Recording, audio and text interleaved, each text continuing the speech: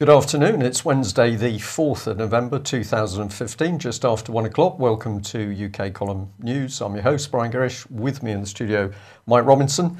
And um, the weather.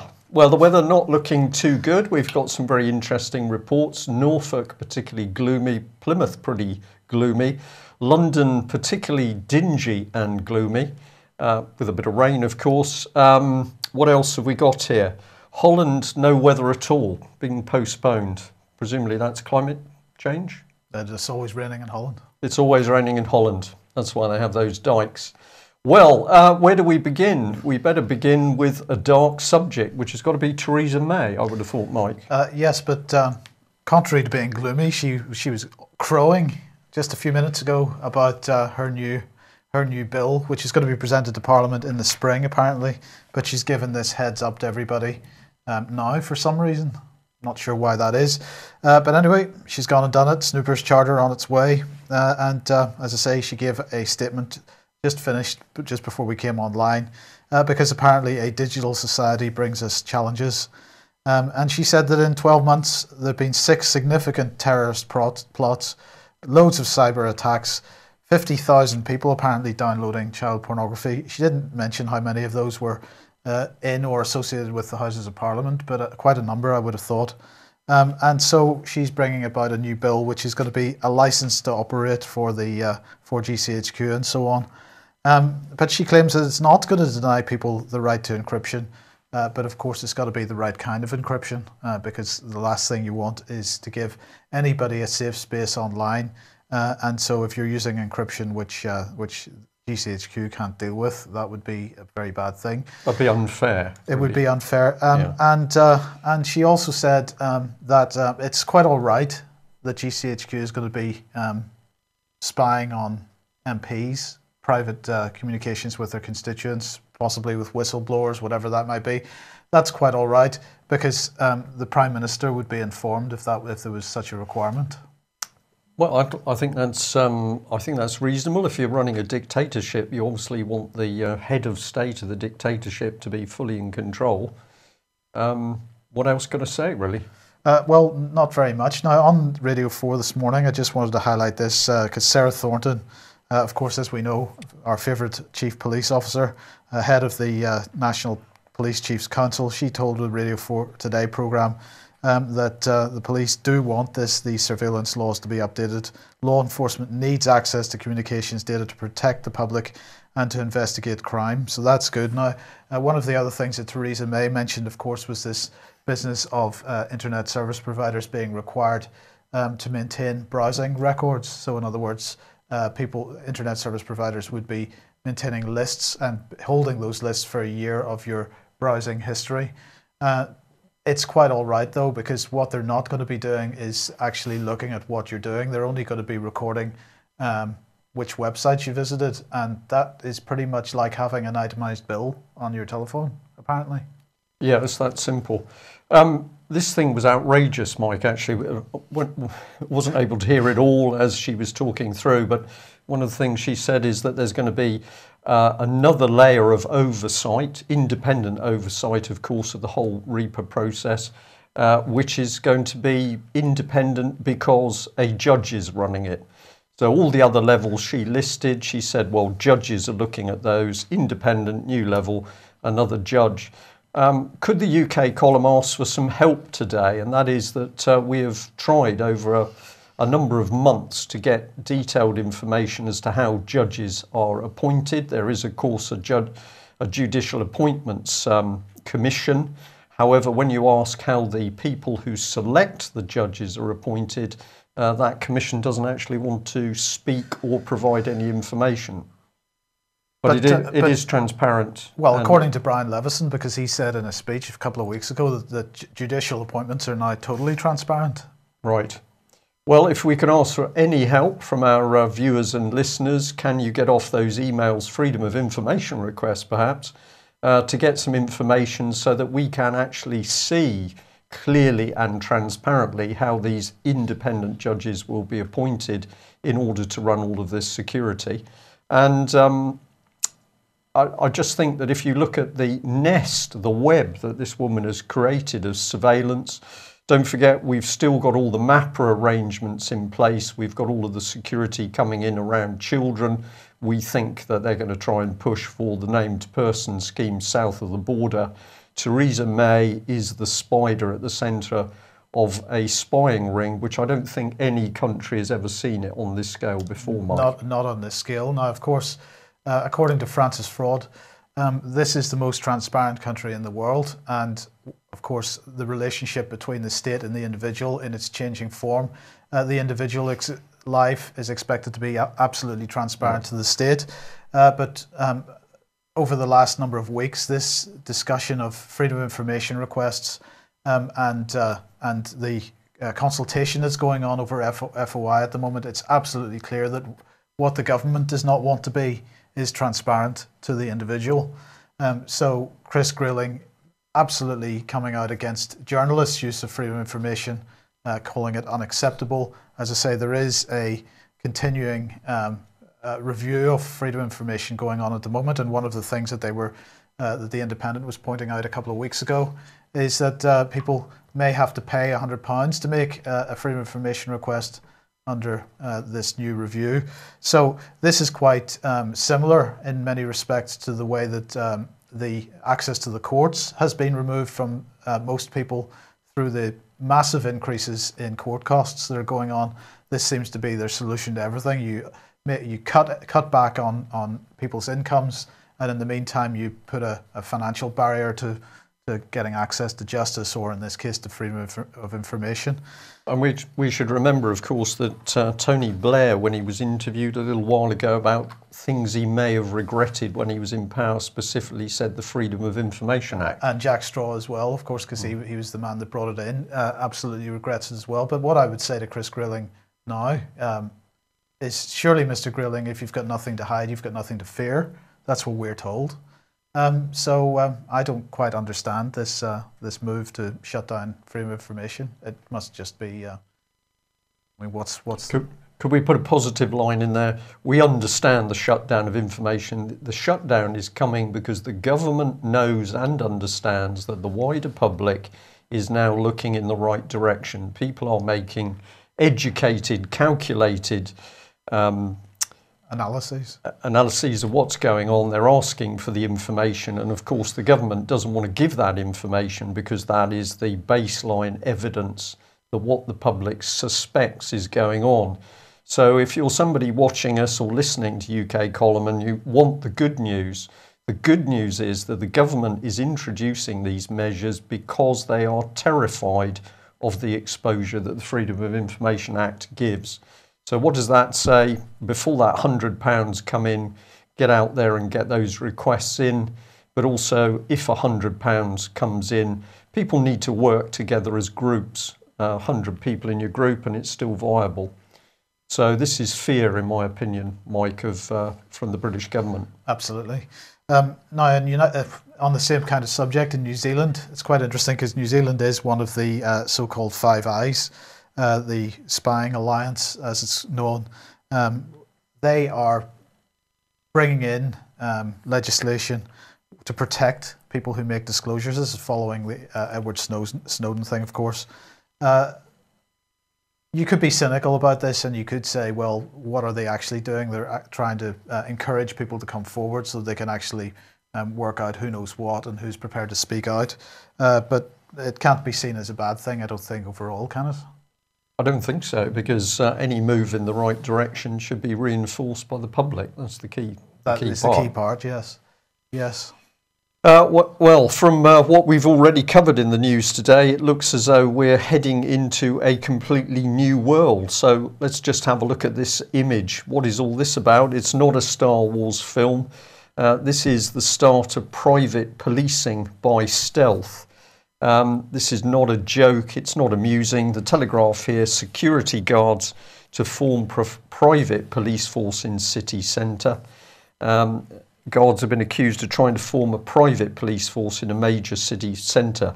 Now, what are they talking about? They're talking about Securitas. Um, just have a look at this company's website. It's boasting of 320,000 employees uh, right the way across the world. We'll have a look at that in a minute. This is this is a private army, uh, totally unaccountable to the British public, and now starting to move in on policing. Um, the, the website is interesting. There's there's a video which you might like to go and have a, a look. I was just fascinated. It homes in on their Milton Keynes um, high tech building. Here it is. It's called Cobra House. We'll come back onto that. But this is a little overview from their site of all the countries worldwide where they're providing security uh, in all areas nuclear security, military security. And of course, they are boasting about their ability to set up huge new control centres uh, where they're able to bring in everything audio, spying, CCTV. Well, it's not closed because it's now being linked citywide. And this is the key thing for me. Go and have a look at the members of the board. These people are not British. Their allegiance is not to the UK. Their allegiance is not to people in the communities in this country. Their allegiance is to the money makers who run the company in the first place. And if you have a look at their share allocations, uh, you, you can easily see what's going on. So our police are being pushed out of their jobs by this vicious uh, conservative, I'm going to call it dictatorship. We might mention that in a minute. And power is simply being given into the hands of foreign businessmen and ultimately, of course, who runs these companies? The banks, I would say. But here's the little interesting bit just fascinating um, coincidence that Securitas uh, is running from Cobra House, which is the same as the government's own Cobra meeting room for security. Yes, maybe they view themselves as some kind of snake. Uh, possibly.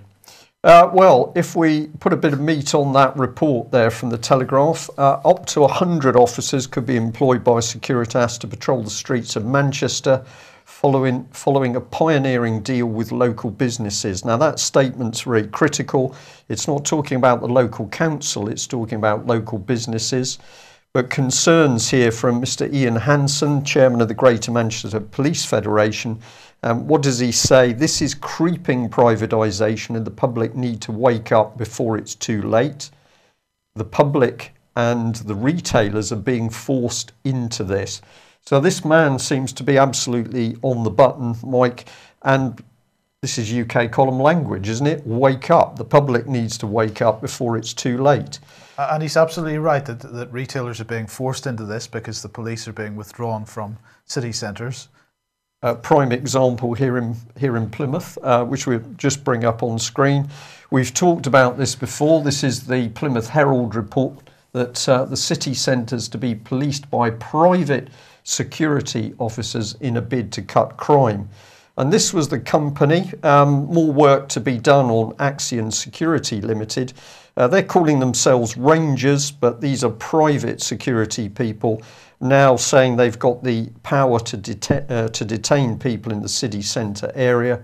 At the same time, Devon and Cornwall Police have lost a thousand officers since 2010 and will lose another 500 under 54 million pound cuts. Um, and then people are beginning to say here what the problems are that the companies are motivated by profit, are less transparent and less accountable. But of course, the local paper says that um, this is inevitable. Well, that's the big lie. It's anything but inevitable. It's only inevitable if people simply refuse to condone it.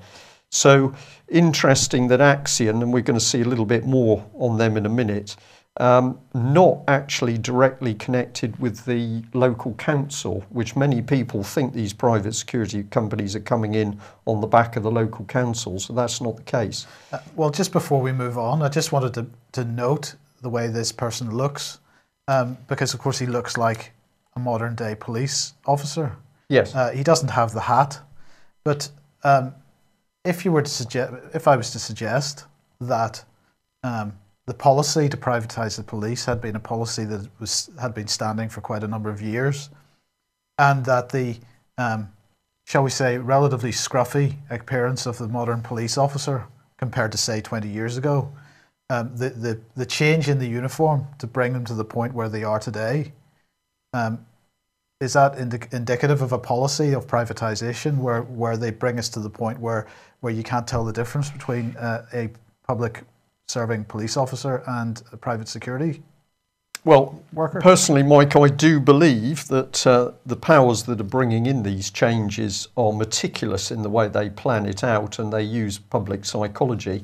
Interesting that that uh, security man's got the white shirt which police used to wear, giving them, okay, they've got a uniform, but they're not. The, the private security man is not in the all black uniform that we've got the police in. So, police now appearing increasingly thuggish in their paramilitary uniform you ease in the private security with a rather pleasant looking uniform.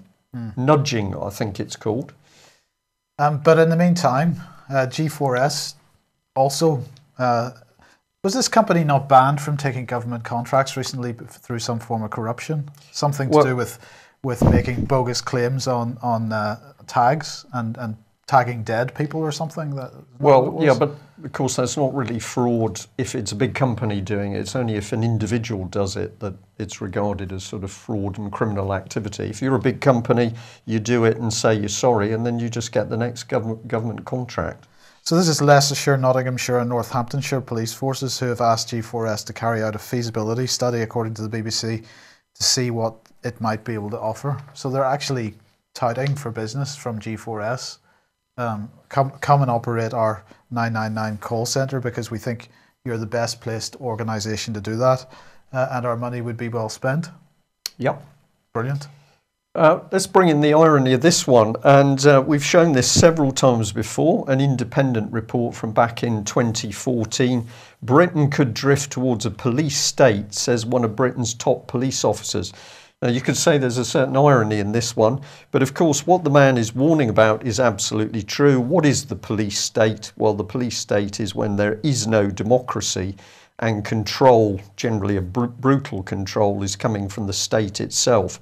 So the police, as protectors of the public, are being pushed out now quite viciously, and in comes the uh, private police funded by the banks. So if we come back onto that Plymouth example, um, this is uh, Plymouth City Council website becoming rather childish. I think, Mike. It's uh, full of nice little adverts, and we got bonfire night here, and it, it all looks sort of bright and colourful, like a four-year-old's done it with crayons.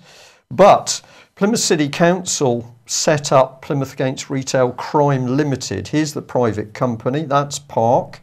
Remember, private, unaccountable to the public, and it's that unaccountable company which has then taken on Axion, Axion Security Limited, who call themselves Park Rangers. Nice little bit of NLP and nudging there. They're not really security, they're Park Rangers, but they're also private, unaccountable. And then in the wings, what's happening? Well, massive cuts to the police.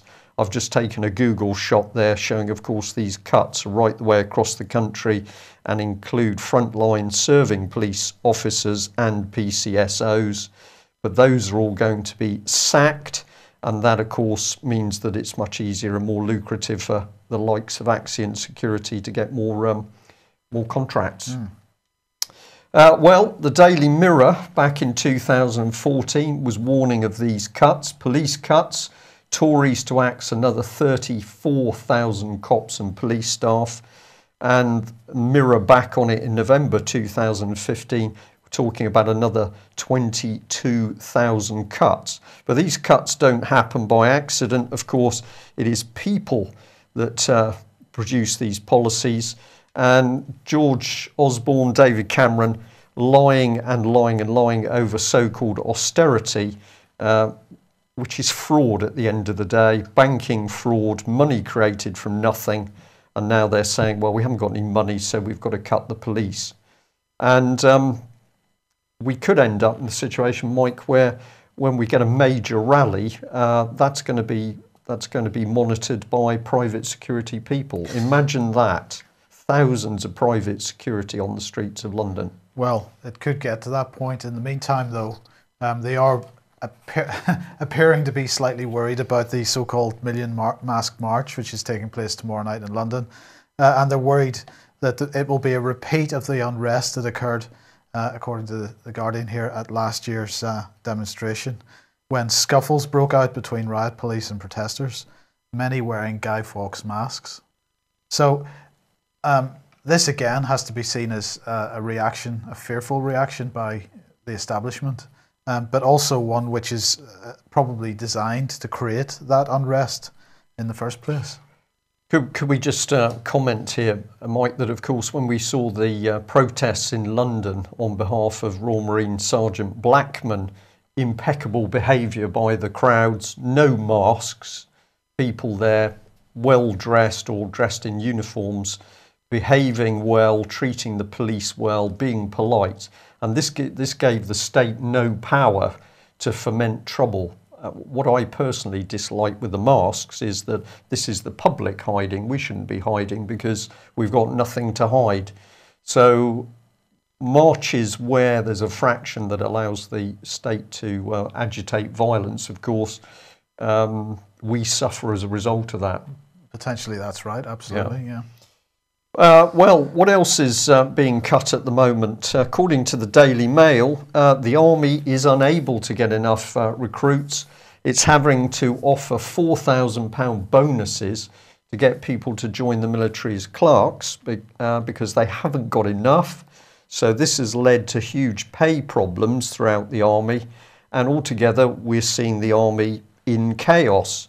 Um, now, what's remarkable about that is that. Um, uh, back in 2013, Dave, David Cameron solved all these problems by appointing this company, Capita, to actually run um, military recruiting. So the military no longer capable of recruiting for themselves. They've done that for many years. Um, what do we do? Well, we introduce a 440 million pound recruiting deal with another of these big security companies um, and what do we get? Utter chaos. Yeah.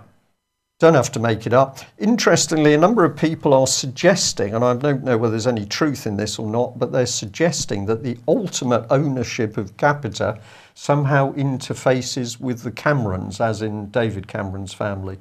But uh, have I couldn't possibly believe that. No. Well, mm. if there's anybody out there that knows a little bit about that and how these mysterious trusts work that seem to be linked to Capita, uh, we'd be very interested to know. But at the moment, of course, that's simply an allegation. Uh, so let's have a look at those men. Let's remember that these are the two principal men destroying the, the country. We shouldn't forget Oliver Letwin uh, and uh, Francis Maude tucked away in the cabinet office. So chaos in the military, lies, chaos and breakdown. Uh, but of course, it was the UK column that uh, was warning um, back in, I think this is 2012, about uh, Cameron boasting that uh, he's done Libya, where shall he invade next? And of course, Syria was already on the cards. But at the same time, it was Cameron that was pushing for a massive uh, reduction in Britain's armed forces to the extent that they would no longer have the capacity to deal with major trouble in Europe, and that's where he's taken the country. So um, it's been on the cards for some time. Things don't happen by accident. Who is to blame? David Cameron is to blame. George Osborne is to blame. Oliver Letwin is to blame. Real people within the Conservative government. And uh, if you want a, a, more interesting reflection on David Cameron, thank you very much for the people who pointed this out. This is a very unpleasant video clip of um, Israeli forces shooting uh, a wounded Palestine, um, I'll say demonstrator, uh, but a young man. He was already wounded, he was already writhing on the ground in agony. And if you watch this video clip, you can see the Israeli security uh, patrolman coming over and shooting him. Um, now, why we're interested in this is, of course, if we remember that uh, Sergeant Alexander Blackman shot an enemy on the battlefield. Uh, what actually happened was he was put in prison. But of course, David Cameron has pledged his unbreakable support for Israel. And the incident of uh, this present shooting, of course, is one of similar incidents over many, many years. So um, the British Prime Minister is a hypocrite because uh, he's fully supporting this behaviour by Israel. But one of the country's own servicemen shoots his enemy on the battlefield. Then David Cameron puts this man in prison. And we'll just remind people, of course, that David Cameron has been proud to boast that he's happy to have been using uh, Israel to offer advice uh, to the British government on security. Uh, this is part of a speech that he gave. We've got to stop thinking of foreign defence and security policy as separate issues. This is what Theresa May has been doing this morning. Mike mm. is beginning to link all of these things together. And um, uh, he's boasting that that's why he appointed Pauline Neville Jones to his shadow cabinet. And uh, in the coming weeks, she'll be visiting Israel to learn firsthand how it tackles terrorism. Well, it shoots them in the back, is the way you do it. Um, so well done, David Cameron. And there he is talking about we need a new Bill of Rights, which presumably is going to help Theresa May install the British dictatorship. Mm. And uh, of course, it was the UK column that pointed out the considerable links between contracts that were being given uh, by Francis Maude to Israeli companies, linking them through to the very GCHQ that Theresa May is now backing for increased spying powers. But presumably that's all coincidental, I would, I would imagine. Um, and uh, that probably leads us nicely into Syria. Uh, so Vox Political here with an interesting slant because it says as the result of um, angst inside Westminster at the moment, David Cameron's apparently got a bit squidgy about Syria, so he was going to have a debate in the chamber about um, putting in more military force. That's a bit of an oxymoron because we don't really have any, but he wanted to put more military into Syria. Uh, but apparently, he's dropped plans to extend airstrikes. That's what's been claimed today. Although, of course, a Downing Street source, anonymous source, told the Mirror it was nonsense to say the plans have been dropped. But it does seem as though um, Cameron has got a little bit squidgy since the Russians have been in there. Well, there's that. I think he's absolutely scared that he's going to lose um, if he brings it into Parliament. So, um, so yes, I think uh, he's not a happy bunny on that on that score at the moment. He, was asked about it during Prime Minister's questions. and his answer wasn't worth repeating, so I'm not going to. Okay, George Osborne was in Germany yesterday. Um, and uh, he was giving a speech um, all about uh, uh, the European Union and, and Britain's relationship with it. Um, and uh, so there you go. There's what he be- began his speech by saying uh, that uh, our military presence in Syria is greater than any other than any other European nation. Um, but th- I think this is what he was thinking. It's called ISIS. So anyway, he was giving a speech in Berlin on trade within the European Union uh, to and how Britain's uh, renegotiation is going to go with regard to in out referendum. But uh, as a number of people have commented, uh, if you watch the speech, you get the feeling that Osborne wants to stay within the EU and not out, as he likes to claim. Well, uh, uh, we would say that's absolutely always been the case. Um, now, the Telegraph here today was uh, has got an article from Peter Foster who's arguing that Britain is taking a step back from the global stage, uh, but in fact, it's quite the opposite. Foster says uh, a little over five years ago, shortly after David Cameron became Prime Minister, his then Foreign Secretary William Hague gave a much trailed speech setting out a modernised vision for the for UK foreign policy in a quotes networked world. Five years on, Britain finds itself marginalised in Europe, absent in Syria, Libya, and Ukraine, and increasingly estranged in Washington as George Osborne turned what should have been a carefully calibrated courtship of Beijing into the diplomatic equivalent of a teenage lunge. Well, of course, this isn't the case at all. The, ter- the, the, the term that Vanessa Beeley used on uh, yesterday's news programme was soft power, and this has always been one aspect, a fairly major aspect of British foreign policy. We wrote the book on it um, and a couple of books by by uh, Frank Kitson on exactly this subject. Britain is skilled at persuading people that it isn't really interested, all the while manipulating situations either from within or from behind the scenes. So Osborne's speech in Berlin seemed to recognise, for example, that the euro project, the euro as a currency, had failed at least in part, and he argues that uh, Europe should not discriminate against those that are outside the euro. Europe, Euro, EU members, that is. Um, so it might seem uh, that he's arguing against, but in fact, what he's doing is recognizing uh, the economic, the current economic reality that there can be no further Euro, Euro integration at this time, and therefore the EU should be careful about uh, not putting off prospective members in the meantime. But the bottom line and the biggest lie is uh, yes, indeed, his hand gesture is typical, is a real Tony Blairism there. But the bottom line is, uh, and as I say, the biggest lie is a statement that ever closer, ever closer union is not right for us any longer. And what he meant by that is that ever closer union is not right for us at the moment. Uh, Cameron and Osborne are absolutely driving for, for ever closer union on the mainland of Europe, at least uh, a Foreign Office, a Treasury, EU police, and EU military, just to name a few of the new institutions. So Britain will sit on the sidelines, manipulating the situation from the shadow as shadows as always. And are we just allowed to say, Mike? Of course, we're also beginning to see some interesting information about the legal status of the city regions um, within a an encompassing EU superstate. So, yeah. so while these politicians are suggesting that they've got some reservations in Europe, under the surface, we're seeing that that EU um, system being brought in with, with all of the legal aspects already in place. And this, of course, is part and parcel of the devolution uh, constitutional reform agenda in this country. So it seems like um, they're, they're giving rhetoric which implies that we don't want closer union with the EU. It's quite the opposite, is actually what's going on. Yeah. Um, just uh, one economic story today. Um, this is uh, UBS really telling us what we already know that uh, Britain's, or well, specifically London, uh, is the worst place in the entire planet for uh, overvaluation of property. Uh, and so they are warning that this is a bubble which could burst. And, you know, I re- refer to the usual statement that involves Sherlock um, because it's absolutely obvious that this is the case. Um, this is foreign money uh, coming into quite a lot of Chinese money coming into to um, London and totally decoupling house prices and property prices from salaries.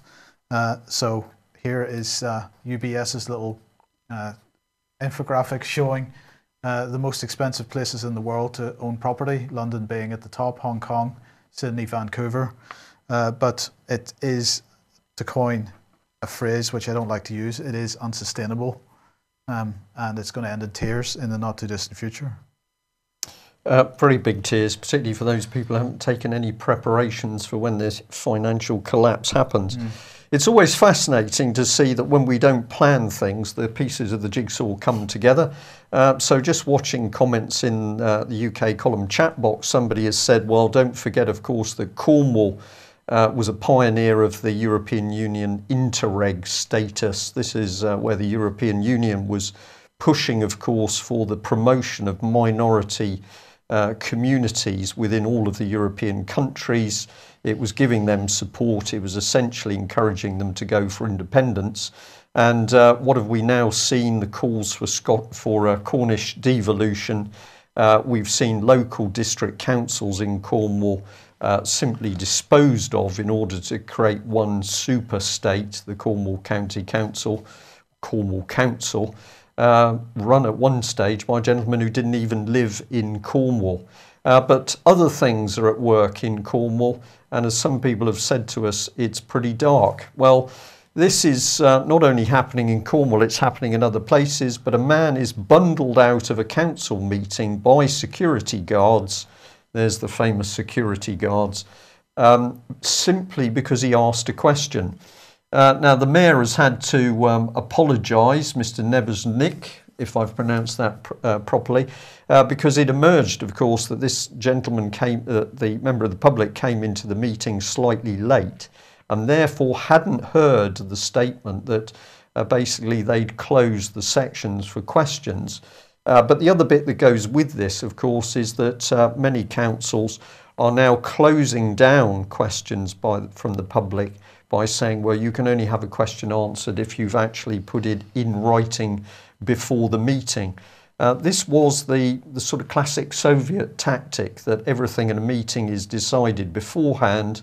You need the questions to come in beforehand so that you can orchestrate the answers that are then given publicly. Um, but this is the state of politics in Cornwall, which many people, I don't mean to be rude here, many people, certainly in London, would regard this as a rather genteel um, social um, holiday area. But we're bundling people out of meetings for um, asking the wrong question. I think we've got to say it again. We've got to contrast this with uh, Vladimir Putin's public meetings, where he sits there and invites questions. And we've got this situation in this country where councils are completely unwilling to invite questions from members of the public. Yeah. It's incredible, isn't it? Because they're, they're frightened of what's going on. Well, as we see the close down uh, coming on a day by day basis, we're getting many people now emailing the column saying, look at the speed all the, this legislation is coming in. So it's not just the UK column team that see this happening, obviously, many members of the public. Uh, but we wanted to just give you a reminder of what sort of ideology is coming in this country unless we, the public, start to take the right action to stop it. And what better place to start was the introduction of Satanism into the British Armed Forces around about 2004. And of course, we had Tony Blair as Prime Minister. This was part of the Telegraph's report that uh, Satanism was considered the right form of religion to bring into the Royal Navy. And uh, we just identified that at that time, Geoff Hoon was the Secretary of State for Defence. So is Mr. Hoon a Satanist, or does he believe that Satanism is a good thing? Presumably he did and still does. The first Sea Lord, Admiral Alan West, well, when he's um, not having a bop and playing pirates with the ABBA girls, um, it seems that he was delighted to bring Satanism into the accepted on-board religions. Uh, or, of course, we could have had Air Chief Marshal Jock Stirrup involved or indeed General Sir Mike Jackson. I think many people would be surprised at him, but who knows? We're asking the question um, if uh, Tony Blair was happy to promote Satanism, is there any other policy that probably wouldn't promote? Torture, for instance. Oh no, he's already done that, Mike, hasn't he? So there we are. If anybody can help us with names of people in the senior jobs in the civil service who helped to bring Satanism into Britain's uh, Royal Navy. Please tell us. We're also interested to know which uh, politicians were involved in this um, particularly bad decision, uh, but it does give a reflection on what we can expect in the future if we allow this dictatorship to properly install itself. Have you got any good news, Mike? It's raining.